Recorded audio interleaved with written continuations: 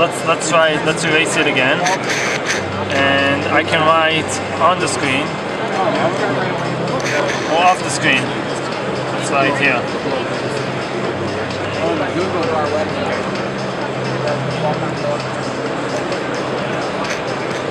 So that pen is just transmitting ultrasonically. Yeah, this is just a simple pen, just a regular ink. Has two small transmitters here. Okay.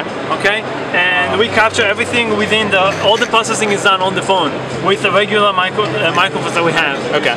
And uh, what what frequency is that pen emitting? at? 25 kilohertz to 80 kilohertz. Okay. Right.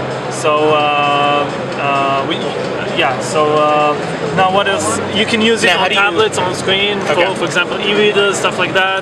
You can take it to to meetings and. Uh, And what's notes. the what's the the maximum distance you can have between so where you're writing? They're talking about uh, 30 centimeters, 12 inch around the phone. Okay. So now we only map this area for now. Okay. So you could have your phone like over here yeah, and then well, just a, a 12 pad of- inches, something like that. Yeah. Okay. Yeah, something like